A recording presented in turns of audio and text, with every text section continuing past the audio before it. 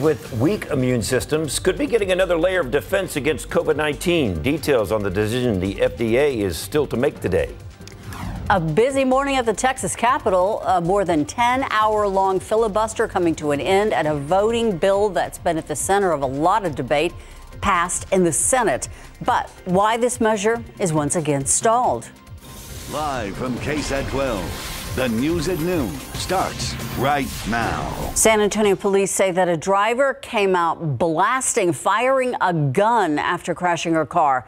When that shooting had stopped, both she and a man were dead. This happened in a West Side neighborhood on Hazel Street near Frio City Road. As Katrina Weber reports, police are still trying to make sense of the violence. As they hurried toward the 400 block of Hazel Street, San Antonio police officers initially thought they'd be investigating a car crash. They soon found out, though, that what happened before 10 last night was much more. Police say a 28 year old woman had, in fact, crashed into a parked car. But she also created a commotion that escalated to deadly violence. Residents concerned, neighbors coming out, checking on the, uh, the suspect in the suspect vehicle.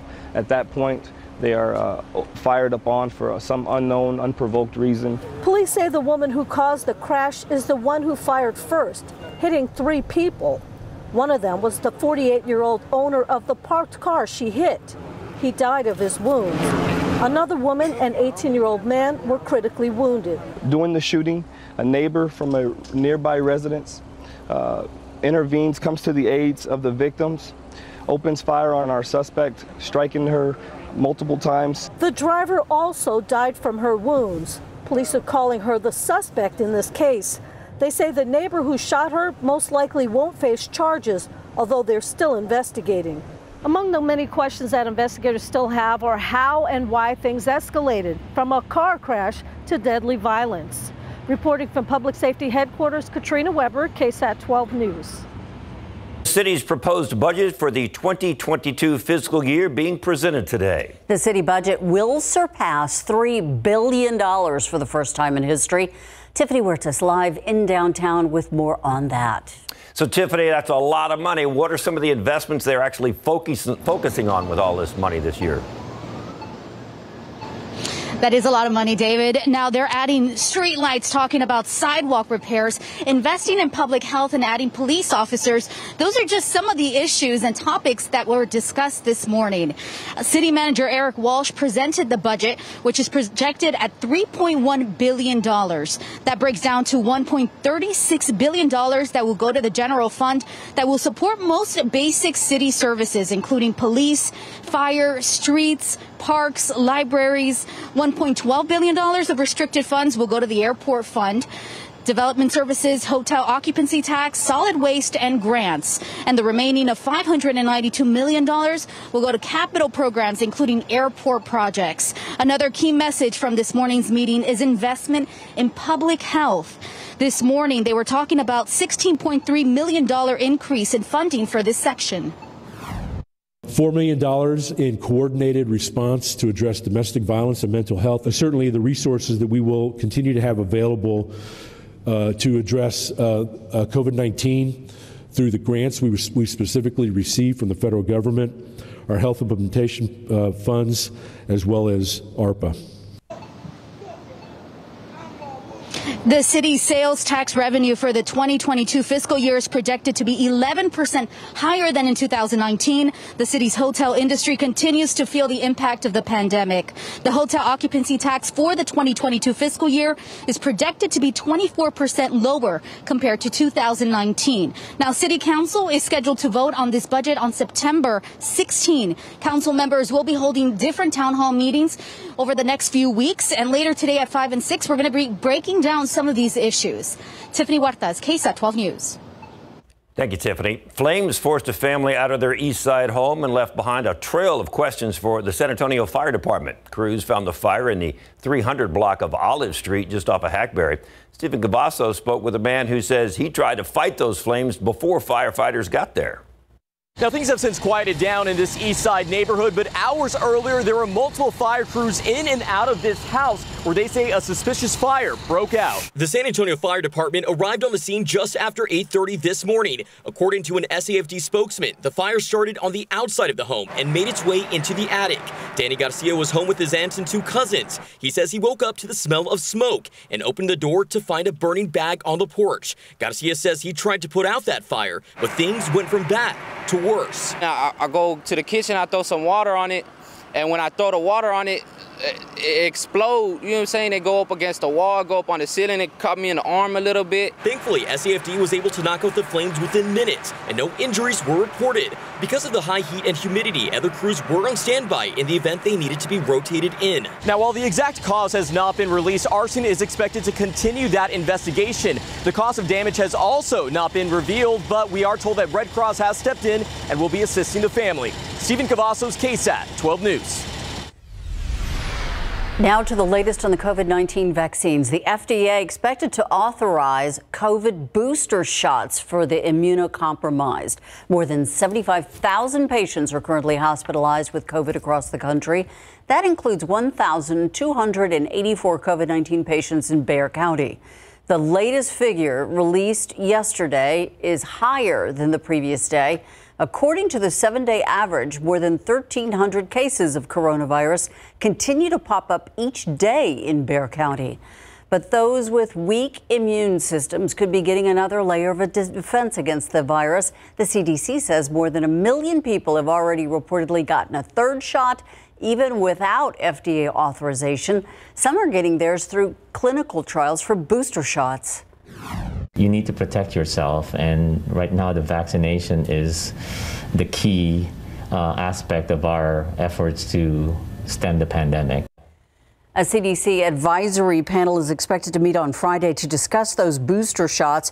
And from there, the CDC director will have the official green light to Back to school season in full swing, and a local school district wants to give parents some flexibility if they're worried about keeping their children safe during the pandemic. Northeast ISD is launching a virtual learning bridge program so children can do their coursework online. It's for students in grades K through 6 who are identified as immunocompromised or live with family members who have compromised immune systems. NEISD says students will be considered for the Virtual Learning Bridge program based on specific criteria and medical documentation. The program officially starts August 30th. Applications must be submitted by August 20th. You can learn more on the district's website. It is listed on your screen right there. And I want to invite you that if you have any questions as you navigate the new school year, I hosted a back to school virtual town hall yesterday. We actually did two altogether. They're both right now available on ksat.com. Uh, the uh, subject matter kids going back to school. What do we do? you can find it in the back to school section of ksat.com. Two elementary schools on the city's west side are undergoing major changes to implement a new curriculum that will give students more opportunities for advanced learning.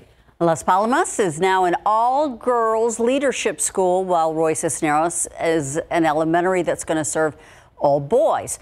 The change comes as schools switch over to an international baccalaureate po- program. Alicia Barrera visited the new Las Palmas Leadership School for Girls. She explains how school officials hope the changes empower young minds. Good afternoon. In just a few years, Las Palmas Leadership School for Girls is set to become the first all girls IB school in the state of Texas. And we spoke to administrators who say, yes, they're educating these young girls, but they truly believe they're also changing the world. The halls of Las Palmas Elementary and Roy Cisneros may look the same, but their respective classroom curriculum transition to International Baccalaureate, or IB, a worldwide education program focused on advanced learning and character development. The dual language campuses have been years in the making thanks to the partnership between Edgewood ISD and the nonprofit organization Texas Council of International Studies, or TCIS. It's a transdisciplinary where they're seeing how does math interact with science? How, what is my role in the social studies and in the reading, and how all of the units blend in together? This is an opportunity for them to receive a world-class education. Many people um, pay up to 30,000 to $100,000 for this type of education, and this is an education we are providing for free for our students here. Administrators say this is going to be a game changer for students, not only on the west side, but for any student in Bexar County. Both are still accepting new students, so if you're a parent interested in learning more about what services are included or what clubs or organizations are offered to the students, you can head over to ksat.com. Reporting Alicia Barrera, KSAT 12 News. A contentious voting measure passed in the Texas Senate just a few hours ago. This came after a state senator ended a hours long filibuster. It was the Democrats' latest act of defiance over a sweeping GOP voting measure. Democrat Carol Alvarado began speaking shortly before 6 last night even though she acknowledged that the filibuster would not stop the measure from passing. The Republican controlled Texas Senate then passed the measure just minutes after she left the floor. However, the voting measure stalled again, and that's because Democrats continue to stay away from the floor of the State House of Representatives in a standoff that has now entered a 32nd day. Today and for the next few days, our rain chances are going to be on the very low side. However, that will start to change second half of the weekend with some scattered rain possible by Sunday. Details coming up. Also coming up in this half hour, more from Olympic gold medal winner Keldon Johnson, the Spur, coming up with Larry Ramirez in sports.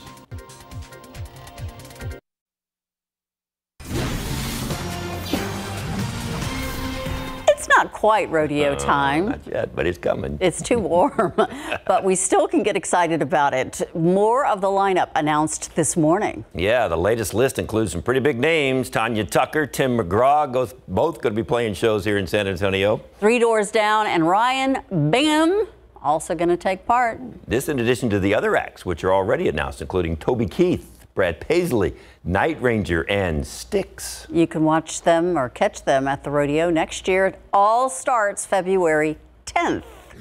And the Texas State Fair is right around the corner. The fair actually announced the 10 finalists that will compete for titles in the 2021 Big Tex Choice Awards competition. The categories include Best Taste, Savory, Best Taste Sweet, and Most Creative. Some of the finalists deep fried I 35. That's a fried kolache topped with brisket and barbecue sauce made with peach juice and, of course, Dr. Pepper.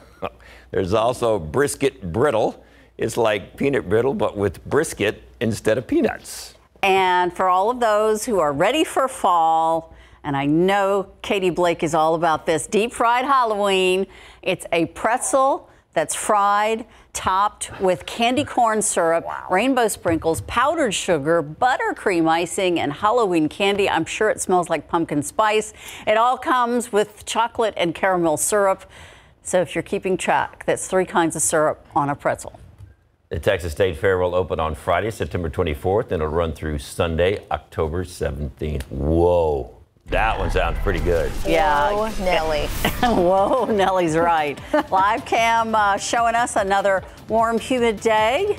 Uh, kind of just like yesterday. Uh, yes, if you've noticed this week, we've just kind of copied and pasted the weather forecast from day to day.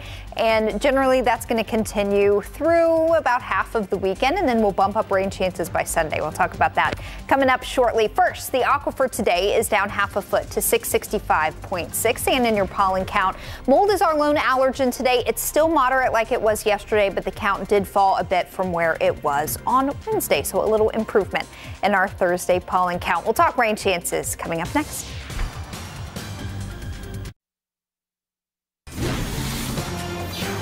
All right, it's time to stick up for the weather department. I mean, she says cut and paste, but still, it's not that easy to forecast. Somebody's gotta cut and paste day, it. And somebody's got to do that. But, you Yeah. know, you guys work hard all the time trying to figure all this mess out. Thank you.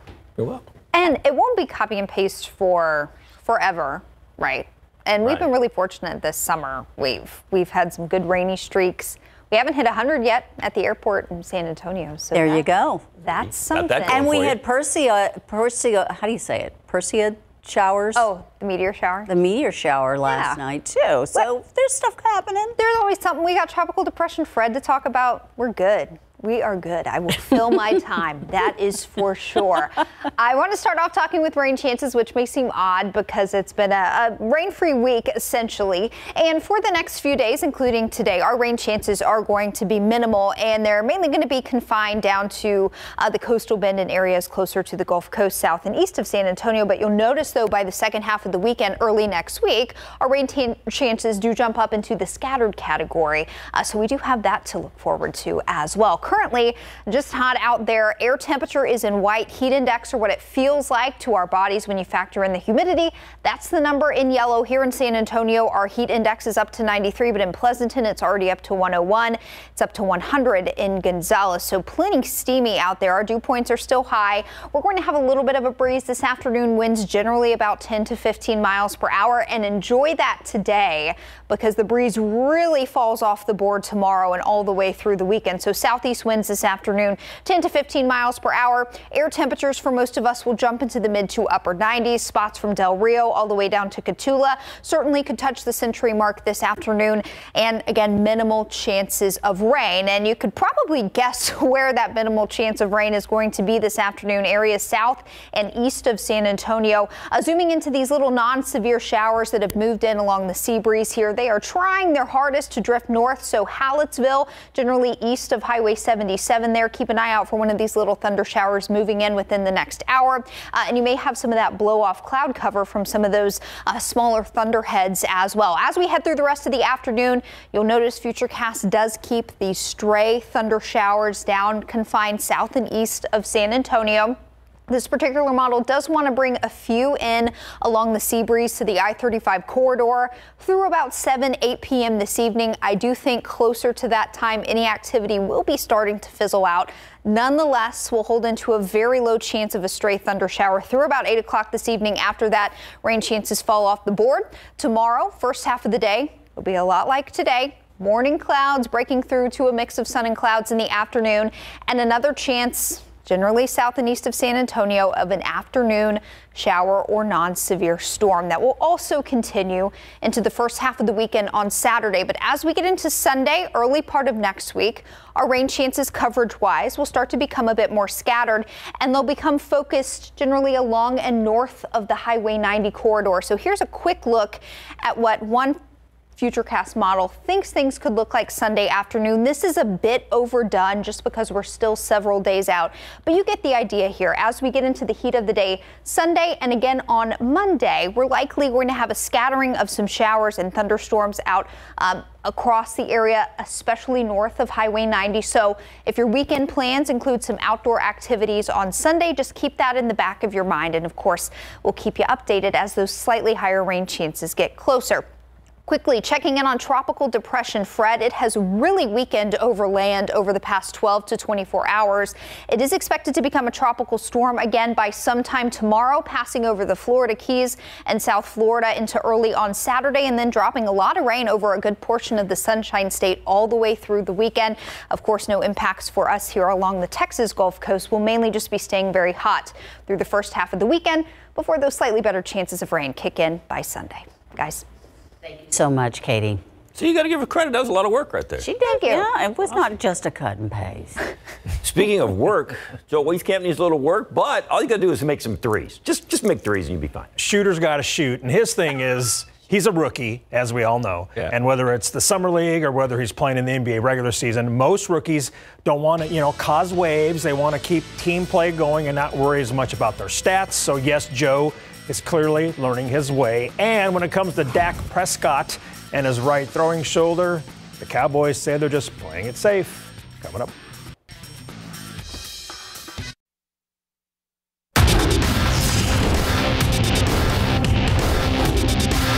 I would like to play in that game, but uh, I've got to keep progressing the right way. And as long as I don't have any setbacks, um, we'll, when we get to that, that crossroads, we'll, we'll obviously talk to the doctors, coaches, and figure out what's best. Dak Prescott hopes to play in the Cowboys' third preseason game in big board sports.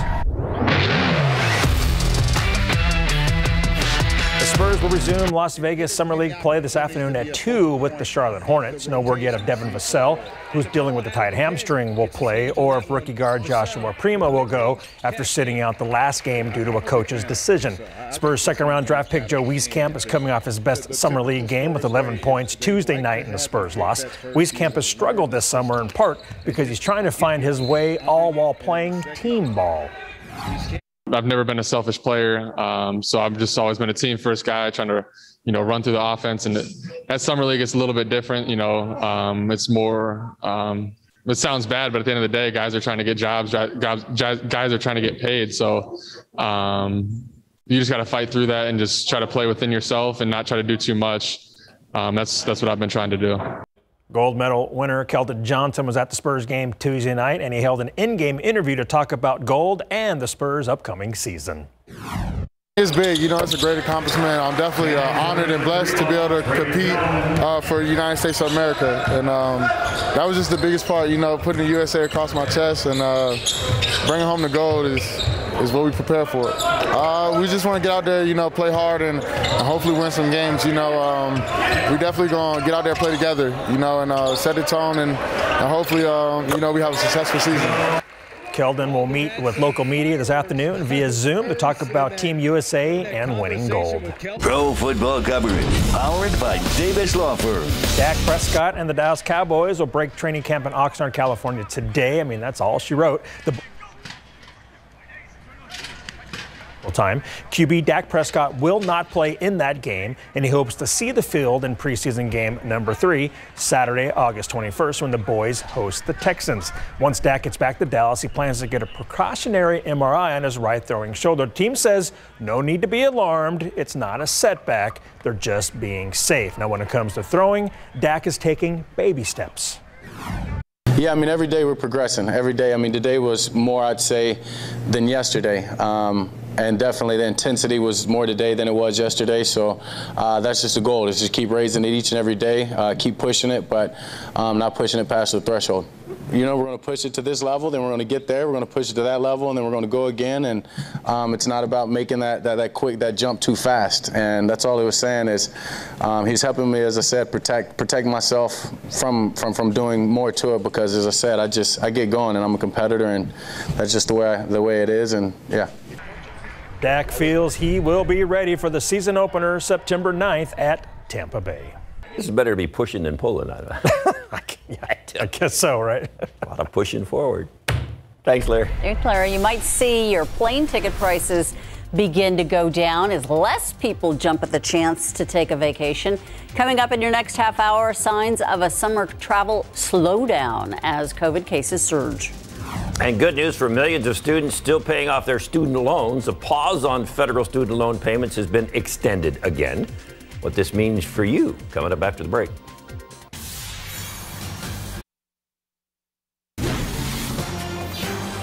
The Census Bureau just released some new population data. The figures show continued migration to the south and southwest and population losses in the Mississippi Delta and Appalachia. The numbers also indicate that the white, house, white population is aging and has fallen into its smallest share of the total population on record. The population under age 18 is increasingly diverse.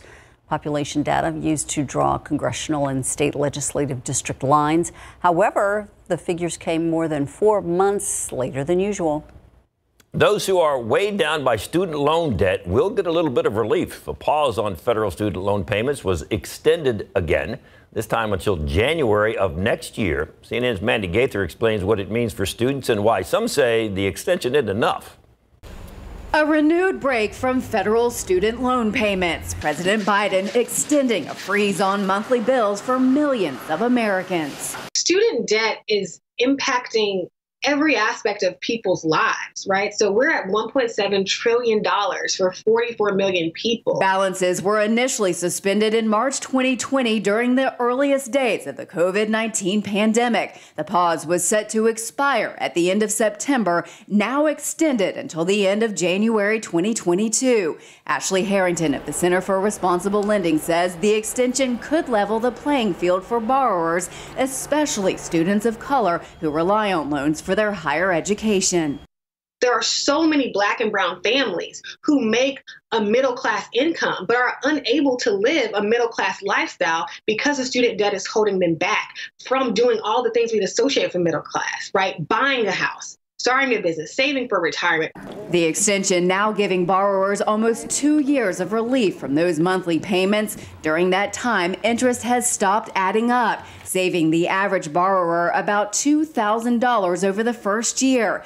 But advocacy groups like the Student Debt Crisis say it's not enough and are asking President Biden to cancel student debt by executive order to stimulate the economy. The domino effect has been that when folks have high student debt payments, a thousand, two thousand per month, they can't buy houses, they can't buy cars, they aren't able to make small purchases to help that small business out. For Consumer Watch, I'm Mandy Gaither.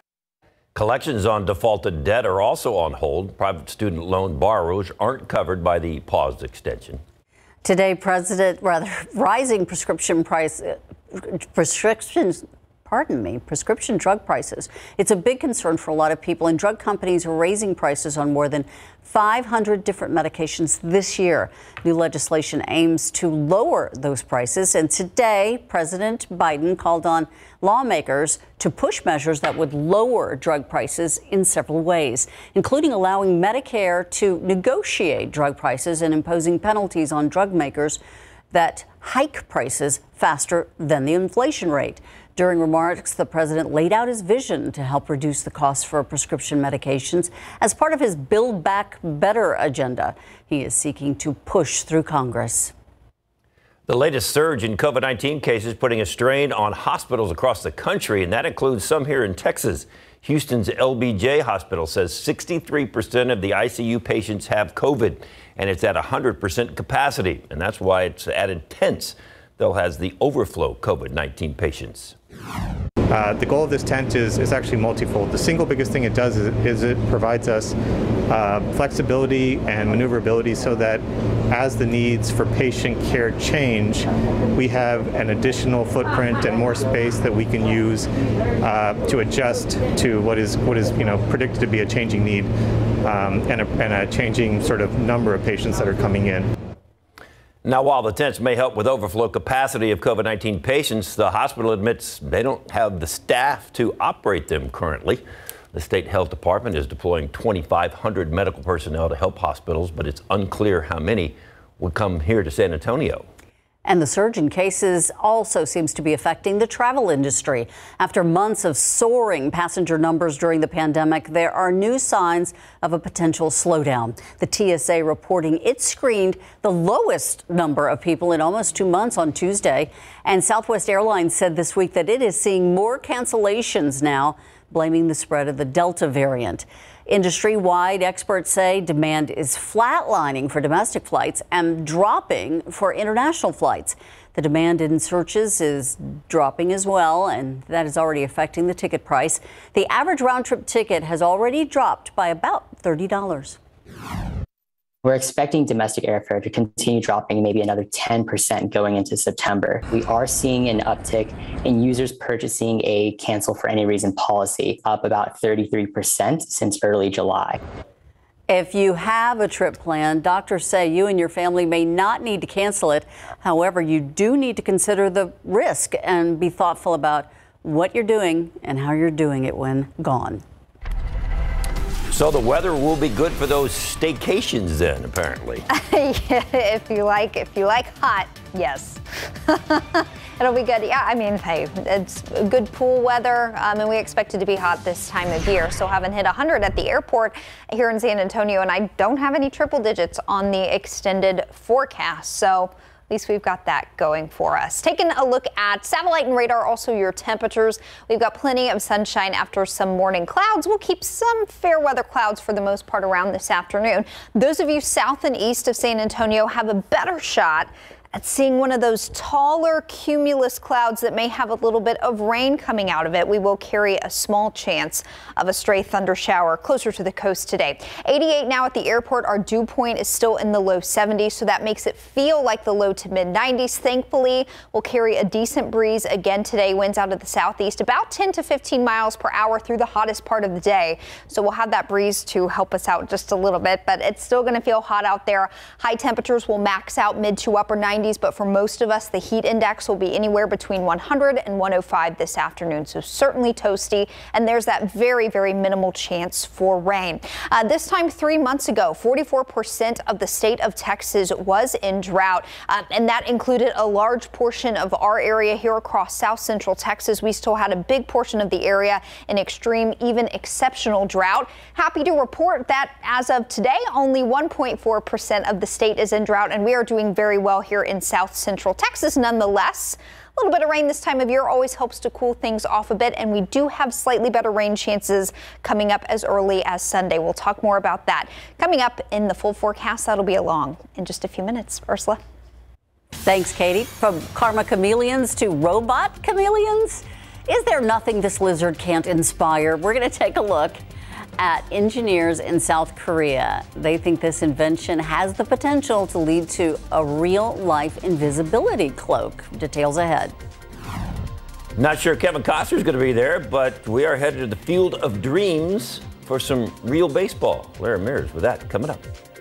You've probably heard of kegs and eggs, but what about Pilsner and pancakes? IHOP looking for ways to make customers consider IHOP for more than just breakfast.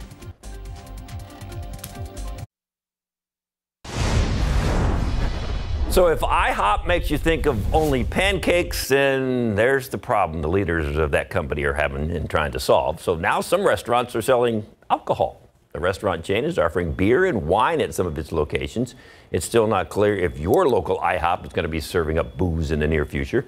Most locations are owned by franchisees, and it's up to them to decide whether or not they want to offer the alcohol. Some may opt out due to the expense of obtaining a liquor license and training staff.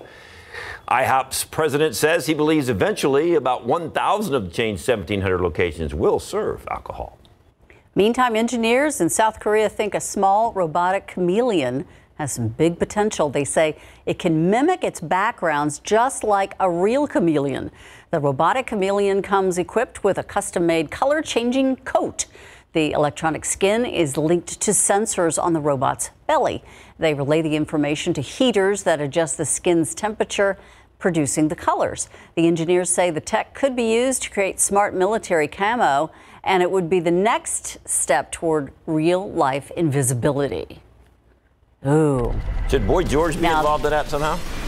Oh, you're going to have to sing the song now because you just lost everybody who's under the age of 40. you made Don laugh over there. Do you know what it is? yes. I'm not going to sing it. Yes, there you go. There you go. Okay. Um, good. You've been very musical today, David. 9 a.m. You were referencing songs. Very, very musical. Very musical. The aquifer today is down half a foot to 665.6. And we've got a pretty decent pollen count. Mold is still moderate, but it's down a little bit from where it was yesterday. We'll take a look at current radar, get you ready for the next few days coming up.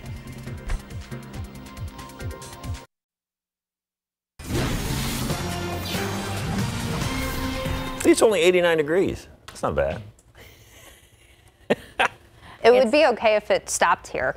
Well, it's been 89 degrees at this time for a few days now, yeah. but check back around 5.30. yes, uh, unfortunately won't still be 89. And uh, our weather has been kind of stuck in a rut this week, but uh, very seasonable for this time of year. Speaking of this time of year, of course, we're approaching the peak of uh, activity as far as uh, uh, climatologically speaking in the Atlantic basin, and we've got a new tropical depression. This is Tropical Depression Fred. As of the 1 p.m. update, so this is brand new information, still tropical depression status. Movement is west-north northwest at 14 miles per hour. Uh, this system, as it has moved across some uh, of the higher terrain of the Dominican Republic here, it has really, really weakened. And in fact, this is very telling the satellite picture. Normally, when we're looking at stronger, more organized tropical systems, all this cloud cover, the yellow and the red, will be very tightly organized around the center of circulation. But look how far removed it all is. It's very messy.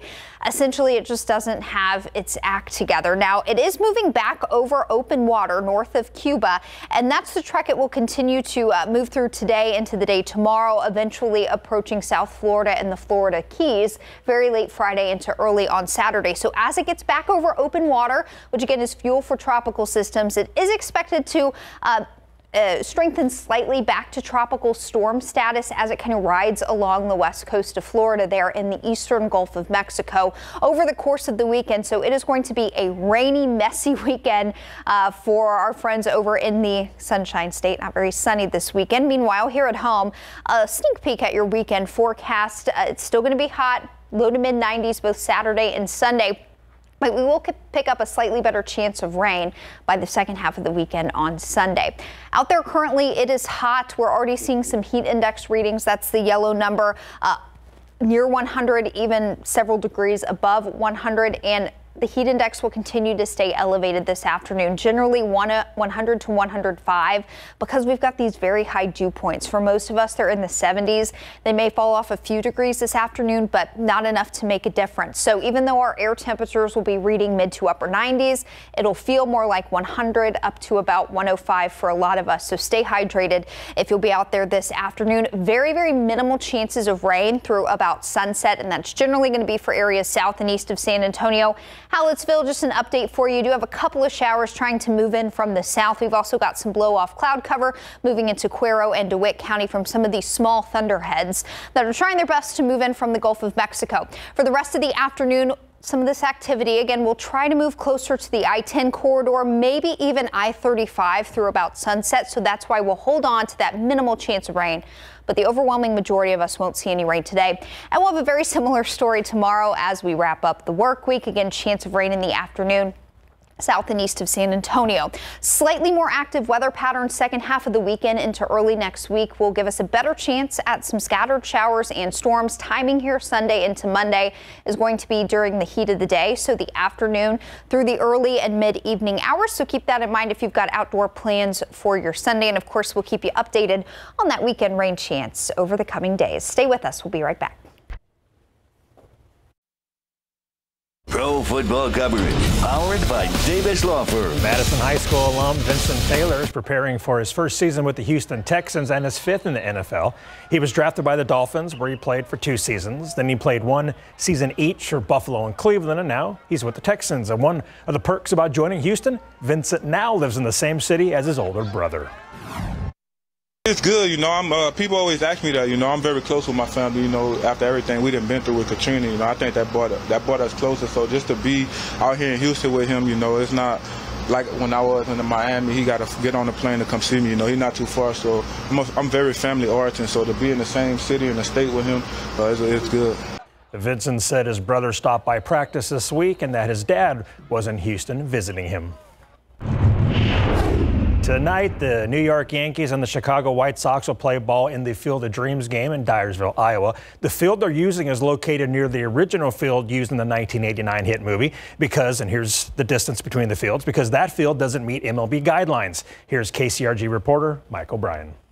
The moment you step onto the property at the Field of Dreams, you immediately feel like you're in the movie itself. You can even ask that to some of the actors that were in the movie. this is like an amusement park. It's so so beautiful. Fans will get to walk through the cornfield from the original Field of Dreams towards the MLB Stadium upon entry. There, they'll be greeted by a maze and cardboard cutouts of the players before eventually getting to the ballpark. I have to say, this is as magical a, a structure as the as the small field was when we first came down here to, to shoot the movie. The dimensions are similar to a normal MLB park 335 down each baseline and 400 to straightaway center. But even the architects of the site don't know if it will favor pitchers or hitters come Thursday. You know, we, we, we feel the winds, we feel the, the, the corn swing in the wind, we, we feel the trans, the evapotranspiration, the corn sweat, right? The humidity at night, when it comes up at night, when it comes in the morning, I think that's going to have an effect. I think I think it's just going to be the most unique place to hit a ball ever. To tell you what it's going to do, man, I, I can't wait to see it myself. As final preparations took place on Wednesday, MLB officials and all of those involved in the project took time themselves to take it all in. The special moment to actually walk up and see this live, uh, that we pulled it off. Um, we're about 24 hours away, but it, we're, we're so so close to it. And you know, when you go ahead and watch, I've watched the movie a couple times in the last week.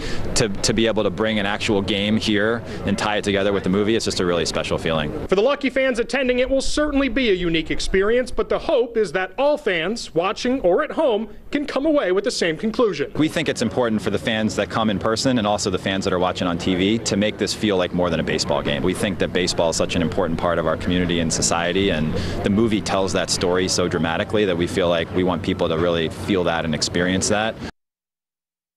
And according to reports, Kevin Costner will throw out the first pitch tonight. Oh, really? Aw, Yeah. How Wow. appropriate. That'll be pretty darn cool. That is, that is neat. That is that is really cool that they did that. Yep. All right, we'll see how it works out. May have to watch that one. You may have to watch SA Live as well. Yeah. We hope you are. Yeah, Kevin Costner is going to be at Gruene Hall August 25th and 26th. Oh, really? Playing with his band. Yeah. I, I didn't know he played in the band. Ah, you do now. okay, one thing we do know of, there are 29 library branches around town, and we have got Robin Alcorta from the Landa Library, San Antonio Library Branch. How are you? Hi, I'm great. Thanks for having me. And great news for parents because you are now open one more day out of the week, right? That's right, starting Monday, this Monday, August 16th, we are going to be open every Monday from now on. We've been closed Sundays and Mondays throughout this whole pandemic, so we're looking forward to seeing you guys. We're open 12 to 8 o'clock. We are going to be making some crafts, uh, talking about books, and also, hey, if you know you can't do the new math to help your kids out, the library can. We're going to tell you about that. yes, and ladies, want to get in shape like a professional boxer? Jen is going to tell you how.